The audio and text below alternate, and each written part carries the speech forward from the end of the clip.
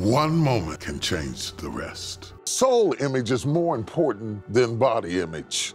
Anybody who defines you by what the mirror reflects really hasn't seen the best part of you.